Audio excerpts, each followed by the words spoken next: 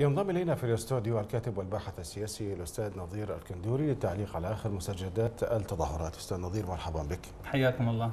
وأرحب أيضا عبر الهاتف من مالمو عضو التحالف الوطني المعارض الأستاذ لبيد الصميداعي مرحبا بك أستاذ لبيد. أهلا وسهلا بك. أبدأ معك أستاذ نظير. لجنة حقوق الإنسان الليبيه تقول إن القوات الحكومية تستهدف رؤوس المتظاهرين عمدا بينما رئيس الحكومة عبد المهدي يقول بأن القوات الحكومية في حالة دفاع. كيف تعلق على ذلك؟ يعني أنا ما أرى أن هذا النظام مصر على أنه يستهدف المتظاهرين والإثخان في القتل عسى ولعل أن يفعل رد فعل عند الجماهير وتنسحب خوفا من هذا الاضطهاد. لكن يعني أنا أستغرب من هذا التصرف بالرغم من أنه مرة يعني بدأنا ندخل بنهاية الشهرين لهذه التظاهرات ولم يحدث للتظاهرات أي تراجع أي انتكاسة بل العكس تزداد الجماهير وتزداد يزداد عدد المنتفضين كلما زاد القتل والإثخان وهذا يعني اللغة التي اعتادوا عليها أنهم يقولون عكس ما يفعلون ولغة النفاق التي تسوم كل تصريحات المسؤولين العراقيين بحيث يقول أن هذه القوات هي لحماية المنشآت وكذلك حماية المتظاهرين بينما هي في حقيقة أمرها تدخن في قتل المتظاهرين وتدخن في قتل هؤلاء الشباب والصبية الذين يطالبون بحقوقهم ويحملون السلاح وإذا لا يوجد سلاح فيقتلهم بقنابل الدخان. يعني هو إثخان في القتل واستمراء واستهتار بأرواح العراقيين. لكن يعني أنا أوجه خطابي لعادل عبد المهدي وزمرته جميعا بأن كلما زاد عدد الدماء التي تسقط وعدد المنتفضين الذين يسقطون شهداء هذا سيعجل بحفر قبورهم وسيعجل ب يعني انتقام الشعب منكم وتقديمكم إلى المحاكم ونيل جزاكم الذي تستحقوه. ستبقى معنا أستاذ نظير ننتقل لضيفنا من مالم الأستاذ لبيد السميداعي. آه، إذا كانت القوات الحكومية آه، أساسا تهدف إلى حماية المنشآت العامة ومصالح الدولة كما تقول لماذا آه، لم تحمي كذلك المواطنين المتظاهرين بكل سلمية واستهدفتهم بالسلاح الحي في رؤوسهم وصدورهم؟ بسم الله الرحمن الرحيم. أولا لا علاقة بالقوات الأمنية بين القوات الأمنية وحمايه الموجودات الناس لأنه ظهر بالصوت والصورة. آه، تم تصوير آه، عمليات سطو على المحلات في منطقة سنك في راس جسر السنك آه، قامت القوات الأمنية بكسر محلات في منتصف الليل كسر محلات تجاريه واستولوا على موجود ذاتها. هؤلاء القوات الأمنية حال حال عصابة منطقة خضراء هم عبارة عن سراق ولصوص وتربوا آه، على أساس على نفس النهج الذي تربت عليه السلطة الحاكمة التي أفسدت البلاد ونهبت المال العام. بالنسبة لهذه القوات كما تفضل ضيفكم تسخن في قتل المتظاهرين ولا تتوانى عن إطلاق الرصاص الحي على رؤوس وأجساد المتظاهرين العزل والسلميين النظام على ما أعتقد يهدف إلى دفع إلى دفع المتظاهرين من التحول إلى التحول من السلمية إلى المسلحة وأعتقد أن المتظاهرين وقيادات التظاهر والتنسيقيات أوعى أن ينزلقوا إلى تحويل المظاهرات إلى مظاهرات مسلحة، الحفاظ على السلمية والصبر والمطاولة هي الكفيلة باسقاط هذا النظام. أستاذ نظير إذا يعني تصاعدت في الآونة الأخيرة عمليات آه، خطف الناشطين وتصفيتهم من قبل ميليشيات مدعومة آه، من الحكومة، يعني لماذا يعني لا تعلن الحكومة هذه الجهات؟ يعني أنا أرى هذا النظام مواهم كثيرا. هو يتوقع بأن عمليات خطف أو قتل للناشطين والبارزين المدونين الكتاب الصحفيين هو بهذه الطريقة سيجعل هذه الجماهير بدون قيادة وبالتالي من السهل التعامل معها وفضها. ولا يعني ولا يدري بل نسي بأن هذه التظاهرات ليس لها قيادة ظاهرة. الصبية والأطفال يعني لديهم من الوعي ومن الأهداف التي يرفعوها ما موجودة عند الصحفيين والمدونين. كلهم على رأي واحد. أنت إذا قتلت صحفي وقتلت ناشط لن تغير في المعادلة شيء ولن ولن تؤثر بما يريد المتظاهرين وما خرجوا من أجله. هذا يعني آه، خطط قديمة. كان يعني سابقا كانوا يعتقدون إذا قتلت القيادات فإن الباقين سيصبحون كالقطيع توجههم كيفما تشاء. لكن هذا الوضع مختلف جدا بالانتفاضة العراقية. الانتفاضة العراقية لو قتل منها المئات بل الآلاف ستبقى مصرة على الوصول إلى طريقها. وهذه ميزة لم تكن في يعني في يعني موجودة في تظاهرات وانتفاضات سابقة في بلدان أخرى. وهذا ما يميزها. لذلك يعني هذا النظام يحاول أن يثخن بالدماء يثخن بالقتل ويحاول أن ينتخب من الرموز والصحفيين والمدونين عسى ولعل أن يعني يقلل من زخم هذه التظاهرات ويقلل من دفاعتها لكن هو واهم وهم شديد بهذا الإجراء. نبقى في نفس هذه النقطة مع ضيفنا أستاذ لبيد. إلى أي مدى آه، آه، تملك الحكومة أوراق أخرى غير آه، التخويف والإرهاب وكذلك قمع المتظاهرين لمحاولة ثنيهم عن الاستمرار في تحقيق أهداف هذه الثورة؟ نعم ربما سيلجأ النظام إلى إجراءات ترقيعية تبدو لي في الظاهر أنها أنها استجابة لمطالب المتظاهرين على سبيل المثال ربما سيعلنون عن محاكمة ومحاكمة الفاسدين ويبرزون عددا من الأسماء الفاسدين كأن يكونوا وزراء سابقين أو مسؤولين أو نواب في مجلس البرلمان ويحيلونهم إلى المحاكمة بتهمة الفساد. هذه من ناحية من ناحية ثانية موضوع قانون الانتخابات تجرى عليه عمليات تجميل وترقيع وكذلك الدستور في محاولة لامتصاص غضب الكثير من المتظاهرين. هذا ناحية أخرى مسألة الترهيب. يعني على هناك محاولة ترهيب. اليوم الناطق باسم القوات العسكرية أو القوات المسلحة.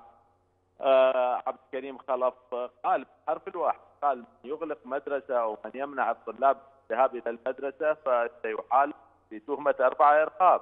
نعم. يعني هذه مسألة هذه هذا هو الإرهاب بعينه يعني.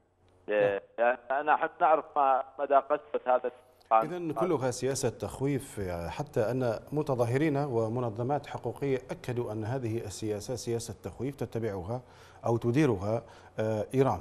هناك وثائق سرية مسربة من الاستخبارات آه، الإيرانية تكشف عن الدور النافذ الإيراني في العراق كيف تابعت آه، تسريب هذه الوثائق؟ طبعا هاي الوثائق اليوم أنا قرأتها صباحا ويعني حقيقة لم أتفاجأ فيها ولم أرى فيها شيء جديد يعني هذه الوثائق تثبت آه، مدى عمق العلاقة التخادمية ما بين النظام العراقي والنظام الإيراني وعمق السيطرة للنظام الإيراني على ما يجري في العراق. يعني آه، وما الجديد في ذلك؟ الجميع يعرف أن الإدارة الإيرانية أو النظام الإيراني مسيطر على العراق بكل تفاصيله سياسيا وعسكريا و يعني في كل الأشياء. لكن الجديد في هذا الوثائق إنها ذكرت أسماء وذكرت يعني حوادث لاجتماعات وخطط وإضافة إلى الجهد الاستخباراتي الذي قامت به إيران على حساب الأمريكان. ولكن هناك شيء في هذه الوثائق لفت انتباهي بأن الوثائق طبعا تم تسريبها لزيادة زخم كراهية آه، إيران آه، آه، كراهية العراقيين لإيران لكن هو بنفس الوقت سلط الضوء على التخادم الأمريكي الإيراني في في العراق. الوثائق تثبت بأن إدارة أوباما كانت تغض النظر عن نشاطات المخابرات الإيرانية وكانت في يعني أمور معينة تساعد المخابرات الإيرانية في سيطرة هذه الوثائق المسربة هي فضيحة أمريكية. بالتأكيد هي ربما تريدها عكس ما الآن نستنتج يعني هي تريد أن تزيد كراهية العراقيين للإيرانيين لصراع فيما بينهم لكن هي بنفس الوقت تكشف مدى التخادم الذي حدث ما بين القوات الأمريكية وما بين النظام الإيراني على حساب الشعب العراقي. نعود لضيفنا أستاذ لبيد السميدعي ونتحدث أيضا عن هذه الوثائق إلى أي مدى كشفت التكامل في الدورين الأمريكي والإيراني بالعراق؟ هذه الوثائق بالمناسبة هي الذي قرأناه من هذه الوثائق هو يمثل فقط المانشيتات خاصة التقرير. لكن تداعيات هذه الوثائق كبيرة وسننتظر قريب العاجل ظهور فضائح سوية ستظهر وثائق معددة بصور وبأفلام وبأسماء وكل هذه التحركات هي مصورة. آه، ما شرته نيويورك تايمز اليوم هو بالحقيقة هو القشرة قشرة الفضيحة.